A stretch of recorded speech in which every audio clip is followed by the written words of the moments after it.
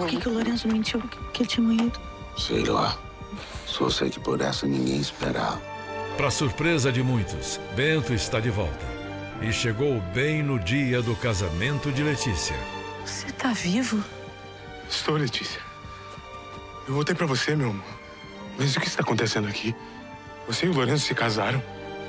Hoje, além da ilusão.